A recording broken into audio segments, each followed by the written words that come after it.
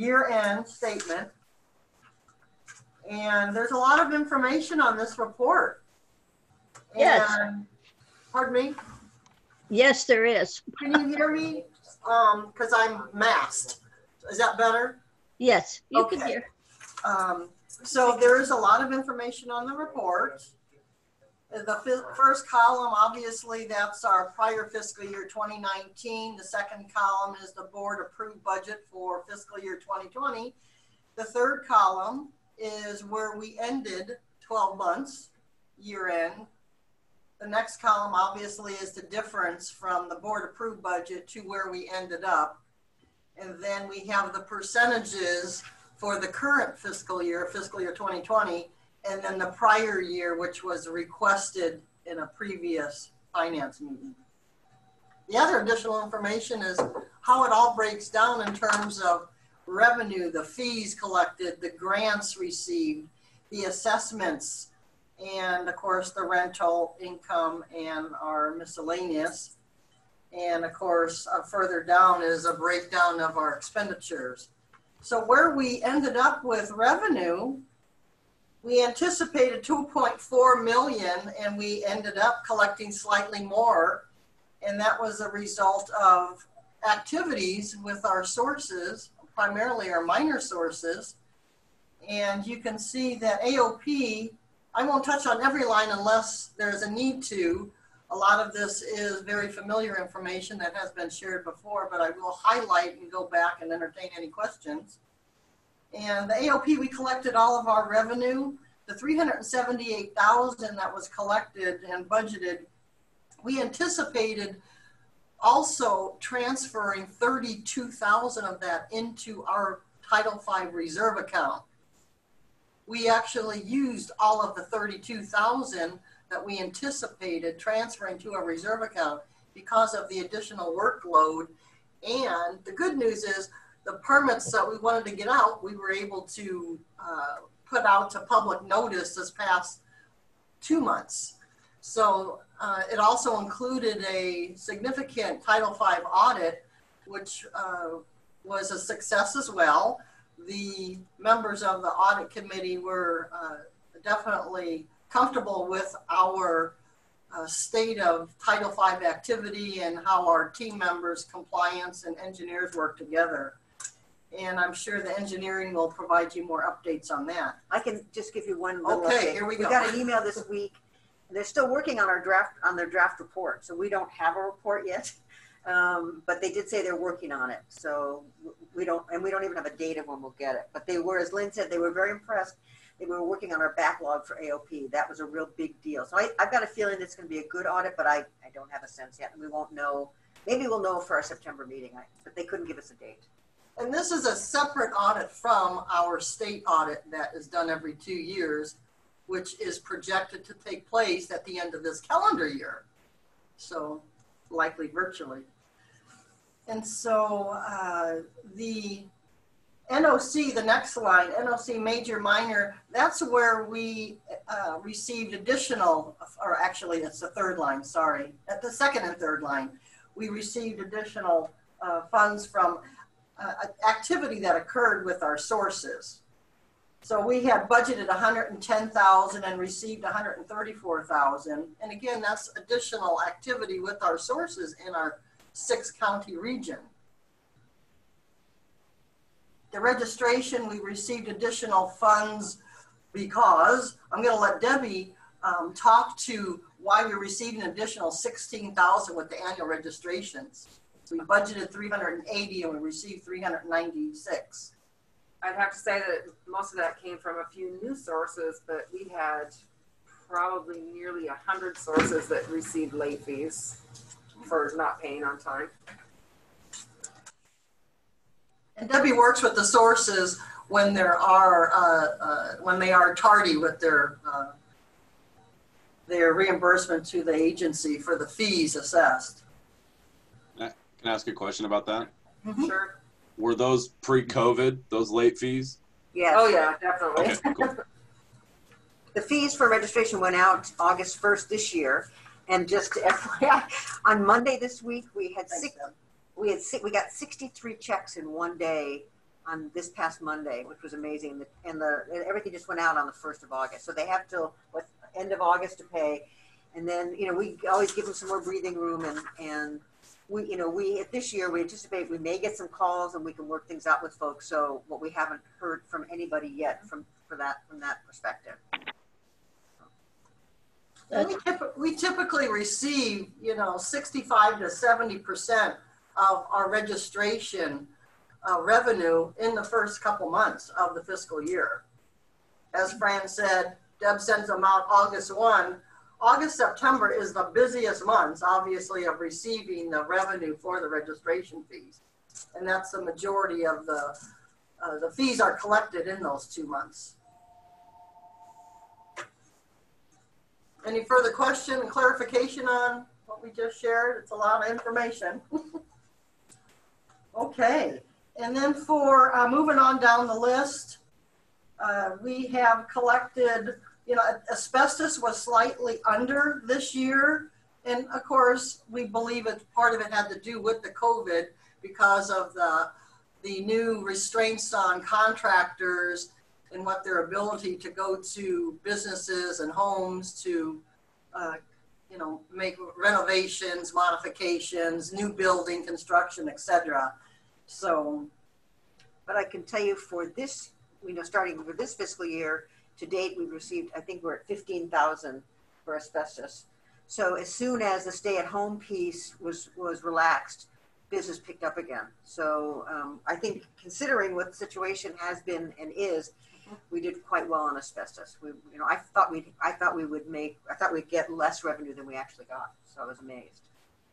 yeah, it's, it's, it's interesting out there if y'all are, you know, kind of uh, looking at, you know, permits and with the cities and counties and building and renovations, there's still a, a demand for all of the work and activity for contractors. So it hasn't, it seemed, it really hasn't slowed down. Yeah, ours never stopped. Like uh, Yeah. we kept going all the way through the shutdown. We just moved it to people's houses. Yeah. Yeah, Yeah, and that's one of the things that um, can go on when you're shut down. People tend to want to do something so that Mhm. you can con- contract in stuff. Correct. Good- Good point. That's very true. So, uh, for our land clearing, we definitely exceeded the the fifteen thousand budgeted, and we received thirty-one thousand nine hundred. And I mean, though it's Wow. disappointing to to see the activity of outdoor burning, uh, it almost doubled in Revit. Well, it over doubled. Cynthia, you wanted to say something there? Well, you know what is interesting about this and comparing it with 2019 is that everything seems to have been going up pretty much for the most part. Correct. Yeah, it's interesting to see the statistics, you know, so um, this is all really good information and uh, comparing our two most recent completed fiscal years. Yeah, More importantly, it'll be interesting to see where we end up in 2021. So that'll be real critical and we'll closely monitor that as well and keep in close communications with y'all. And for the next section is our grants and, uh, you know, the wood smoke education, the wood smoke reduction, the PM 2.5, Chica Peak air toxics. We're on, definitely on target with all of those grants the core, EFSEC. EFSEC, as you can see, we did collect slightly under our um, anticipated 35,000. The good news is that we were able to assist the UTC and EFSEC with issuing the AOP for that facility. As you all know, that's the gas turbine powered plant in Grays Harbor County, Energy Facility Site Evaluation Council. So that's really good news. And kudos to Mark Gooden, our engineer, who really um, took the lead on that and helped EFSEC and worked closely with EPA and Ecology to get that out the door. Fines, we did collect 66,000, about 11,000 more than we had budgeted. And, you know, you never know what to, the budget there and investment income, kudos to Thurston County and the treasurer's office and investing our uh, residual funds and, and really maxing out the, the earnings there. So thank you very much, Ty, and your staff there at the treasurer's office. We definitely exceeded the twenty thousand dollar budget and brought in thirty-four thousand. Well, that's nice. That because that'll tank this year.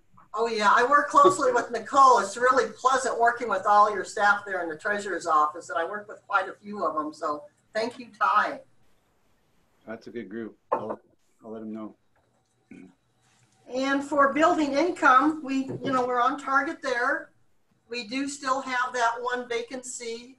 We have out of nine tenants, we have one vacancy and, and that became vacant at the end of last fiscal year. We are slowly marketing that, that uh, vacancy. We've had a little bit of contact and bites on the, the Craigslist ad, but, um, and then moving to a more important line, the general fund contingency line, we budgeted two hundred thousand and we did not have to use any of that. Again, the Title V contingency, we anticipated, as I said earlier, we were gonna transfer thirty-two thousand, but because of workload and uh, successful workload audit, we were able to um, uh, use that fund, and that's what it's for. The contingency is there in the case we need to use it, and we did use it this year. So we ended up, uh, you know, collecting a little over 100% of what we anticipated and not using our general fund contingency. And we'll talk more about the contingency when we get on page two of the general fund balance sheet. I can move on to expenditures unless there's any revenue questions or Is there anyone with questions? No. No? Okay. All right, well, moving to the expenditures, we anticipated, uh, you know, a little over two million in payroll expenditures and we were under by about forty-five thousand. And the reason why we were slightly over on the salaries is because that is a reflection of the additional time that we had our interns work under the community air toxics. And that is a reimbursable grant. So it was great that we had, we had savings in that grant.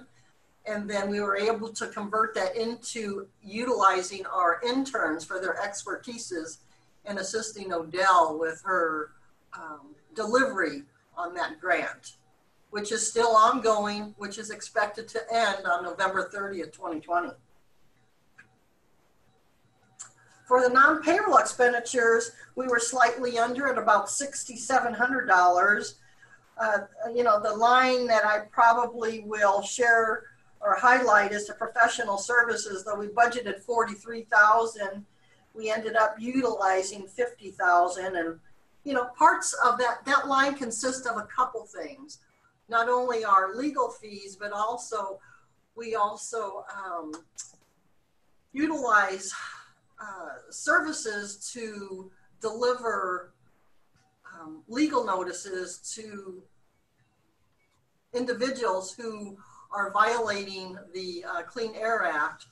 And Debbie contracts with a number of different sheriff's office, private sector businesses to deliver the legal notices uh, to communicate with these folks when they're not uh, responding to uh, us in a, a, a, a, probably an amenable way to uh, work with us on the violations that have occurred and and that is actually getting more expensive so uh, you know they have expenses too those expenses are going up and I don't know, I can't give you a, a, number of how many legal services we did conduct during the course of the fiscal year.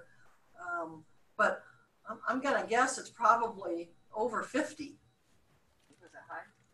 Was that high? I would have said 20, but it, it could be. I don't know. Yeah, it's easy for me to get that number, but And we, we use that as a last resort if, you know, we send out, we send it in the mail, we send it certified, we, you know, we try to do a variety of things before we engage these folks, but sometimes it's the only way we can get the information out. Mhm. And for our, for our legal services, we had and we're still waiting to get an, an answer. We had a very expensive appeal for the Pollution Control Hearings Board, and we have not gotten, we, it, it was, the hearing was actually the middle of July, of July, yeah.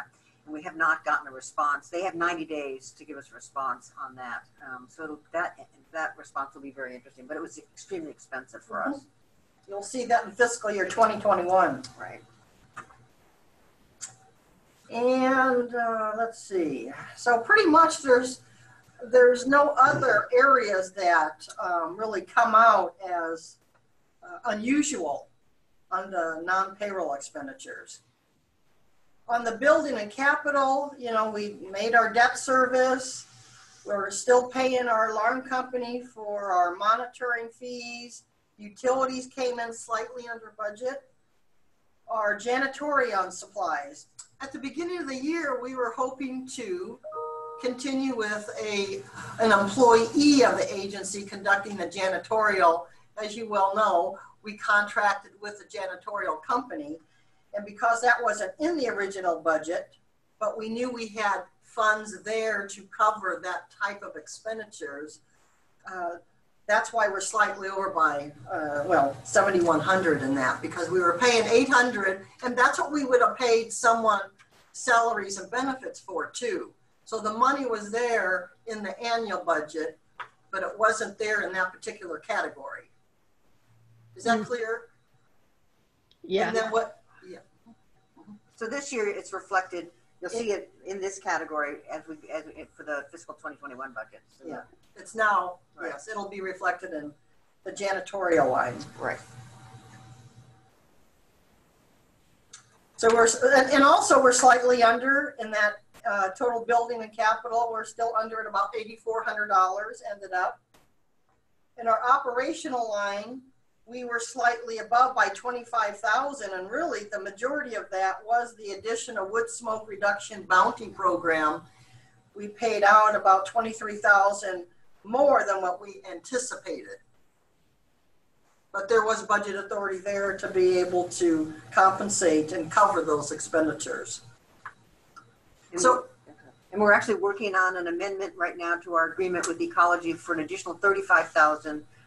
Because we're, I mean, we're, we're very successful in this program, and so Dan has been working with Dave Grant, who runs the program at Ecology, to amend the language. Um, and so again, we provide the wood stove changeout for Thurston, um, and then parts of Clallam and parts of Jefferson.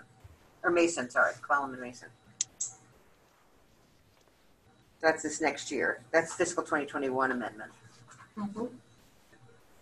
And so, uh, you know, when you consider the revenue brought in, the expenditures um, paid out, we ended up with a $62,000 um, uh, difference, which will be transferred back into the general fund.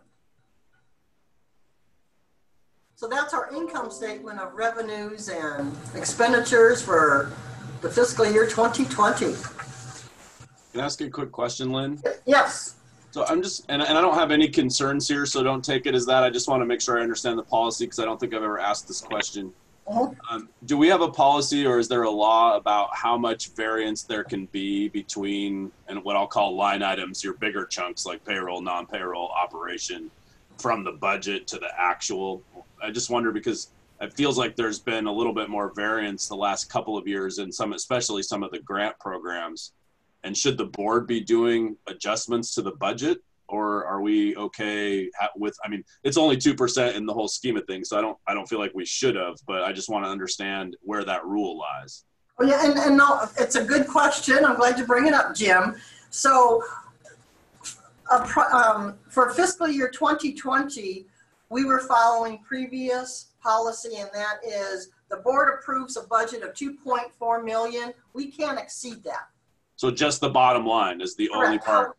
Correct. However, Randy had brought up in a previous finance committee meeting, he would like to see us identify a uh, sub subcategory maximum. So, example, for um, for the operational budget of 197,825, we would um, not exceed that category by 10%. So. Before you come to the board. Okay. Yes, sir, correct. I, okay. And did we make that a policy? We're, go- we've instituted that for starting in fiscal year 2021. Next, this, the current fiscal year we're in.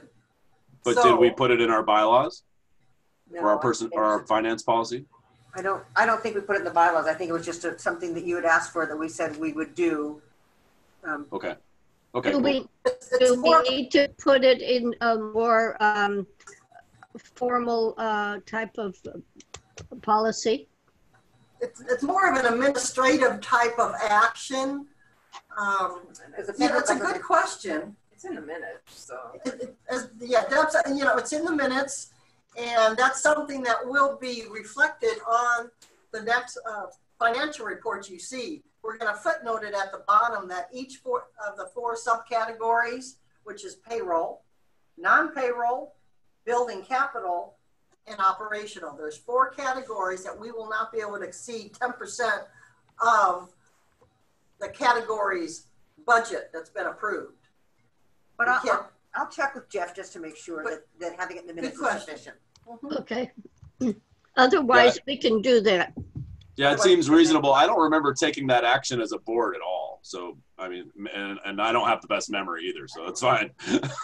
But that's I- the, but I, I'm glad Randy brought it up. Way to go, Randy. Yeah, Randy, yeah, Randy brought it up uh, a while ago. I think it was two- two finance committee meetings ago.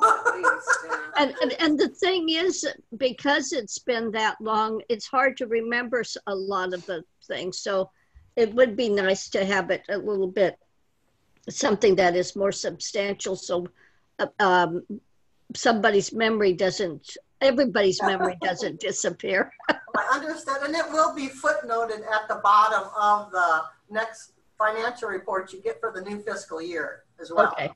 Did we say that if that variance happens, we review it or the board amends the budget the Board would, it would come back to the board for board action if it exceeds ten percent. to amend? Okay, Amend. Okay. perfect. So is there any more questions about the expenditures? Lynn, did you have anything additional to add to the expenditures? No, not to the income statement. Okay, We can move on to the balance sheet if you'd like for the, the fund balance sheet. okay. page two. Okay, so we started the year with one million, six hundred fifty-eight thousand, four hundred and eight. We had revenue of two point four million and expenditures of slightly under two point four million, or, or two point four million, yeah, two point, yeah, two million, four hundred and thirty-five thousand. So the net difference there is sixty-two thousand, as I stated earlier, that will go, you know, that's going into our, back into our general fund. We overspent in the Title V by fifty-six thousand, so the, uh, that, uh, fifty-six thousand is being collected in the current fiscal year to be paid back. And that'll uh, reimburse the general fund for the temporary loan. the fund balance allocations for contingency funds that the board has approved. There's three hundred ninety-one thousand as a, uh, emergency contingency. The Title V, again, uh, will owe the general fund fifty-six thousand. The tenant security deposits, we ended up with five thousand five hundred and seventy-five that we're holding. Office building, we have thirty thousand, monitoring twenty, the database, we have hundred and the vacation and sick leave did increase by about sixty thousand from the prior year. And that's based on staff's vacation and comp, and then the director's vacation and sick leave for the year end June thirtieth. And, you know, I think part of the reason why it went up, obviously, is folks haven't been taking time off because of our recent um, virus and COVID and um, They need to. Pardon? They need to. Yes, sir, correct. And Fran is, is, is, is monitoring that and, Folks are taking vacation. They may not be taking the length and they may be taking bits and pieces, but they are taking time. I have a quick question. Was any staff um, infected with COVID? No, Oh, good. knock on wood. No, no staff, no families. Knock on wood. Excellent. I Oh, think we- that's wood. Yeah. It looks like wood anyway. So, um, so we have a, uh, unreserved, uh, one, a little over one million dollars. So, so basically that's our fund balance sheet, our, uh, contingency funds. If there's any questions on page two, or happy to entertain any questions. Is there any questions? Ever, anyone? You're fading, Lynn. I don't know if you're fading for everyone, but um, does anyone else have any other questions? Feels good. So I have a quick, just a quick thing. If you were trying to highlight one, one or two things, what would it be, Lynn? To just make sure that we're aware of.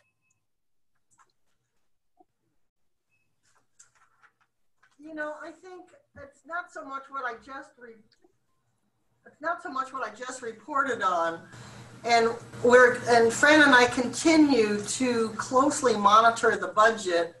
You know, like she said, there's great staff here. Fran keeps staff up to date on a regular basis. We report to them. Um, I think closely monitoring the budget is very important clearly keeping in uh, close uh, connection with our main revenue sources and uh, definitely closely monitoring, probably more so this year than any other year, is making sure that our, uh, our fees are coming in and working with those if they do ask for accommodations. Right now, as Fran said, we have not received, I and Debbie shaking her head no too, we have not received any requests for accommodations at this point. So right now, it's, uh, we haven't made any changes yet that are necessary, but it's not that we haven't considered, but we are, we- we've talked amongst ourselves and, um, now we wait. It's a, it's a waiting game, but again, we want to be prepared in the event that folks do start contacting us, so, um, But I think it's, you know, closely monitoring, closely communicating in-house and, and watching our, um, uh, the news and, you know, the state, feds, you know, so I Okay. hope that helps. You know, we, we just don't, we don't really know, as you all don't know for your own budgets, how things are gonna roll out this year. Um, you know, obviously, we've got concerns and questions about the state and federal core. Well, you know, that, we've got contracts in existence, but they can obviously be amended. Um, and staff working hard. I mean, they are trying to get permits out, um, and there are, you know, we're not getting a lot of new source review in. Um, so they're trying to catch up and, and what we are, we do have activity. So we've got air operating permits, we've got new source review. Um, staff are out doing, um, inspections. So, and they're also responding carefully, but they're responding to complaints, burn complaints. Um, now those have, they've slacked off a little bit at, because we've got the no burns in all of our six counties now for fire safety. But, um, so they're out there, they're working. Those Okay. predictions are are sure a gamble. We we predicted down 40% for our July sales tax from last year and which is and July is May, so th- that's when we get it for the month of May. And we were up 9%. Wow, good. Yeah. Yeah. It's, I, I, all Ho- Lowe's and Home Depot, I think, I don't and. Amazon. Pro- Ama- home yeah, projects. you're right. Yeah. It's, Right, exactly. what else is there to do but shop Yeah. Oh, online? And you know, and I'm amazed at, at the, you know, home sales are going fast. People are, you know, have to, are still bidding for houses. I mean, I walk in the morning before I, you know, before, before I come to work, and I notice a ton of new houses start, housing starts. So, you know, we've got a lot of timber folks out there in terms of our sources. They're busy. Um, Yeah. You know, Simpson Door, which is McCleary, sent us. They normally send us what quarterly checks. We got the entire check.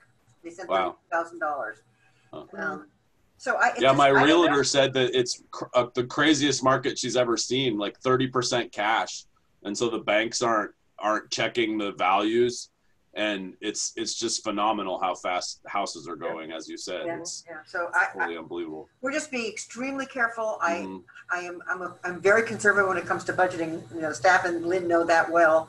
Um, so we're just monitoring things. You know, there's no travel. Um, any major expenditure, you know, has to come through me. So we've had, you know, we we had some backup servers that are old, and two of the three died. So, but luckily Nick can rebuild this. He's he ordered three new servers. Um, and he's rebuilding the system, and he can do it for half the price than buying it all, you know, all redone but it's still you know twelve hundred dollars. So we're we're being very careful. That's all I can tell you. Well, you just don't know anymore. Um, I know that's what our Troy, our finance director, said. He says that's an anomaly. That's an anomaly, but he keeps saying that every month. Well, I'm happy for the anomalies as long as they're in the plus side. Right. Yeah. Be an apocalypse, so. No, Well, if there is no more questions, we may be done with our finance committee. Is there anything else anyone wants to ask or, or say? Randy? No? So with that, I'm going to adjourn the meeting. Good job. And I'll go, you know, I'm in my house and I only have a light sweater on. I'm going to have to put something heavier on. I'm cold. How can that be? But it's cool right here. I Um, don't know. Here in Belfair, it's, it's nice and nice and toasty. Is it? Gosh. well, it, it's it's not so bad outside, but my um, sewing computer room gets really cold um, for some reason, or maybe it's me just sitting. But anyway, so I will see you at ten, right? Okay, we'll see you at ten. Thank you. Okay. We'll Meeting is See you adjourned. soon. Bye. We can leave the Zoom and come back to the same Zoom. Is that okay? yes. Okay. Yeah, so we can just leave it on. Okay. So I'll, I'll put it on mute. Just, huh? Yeah, you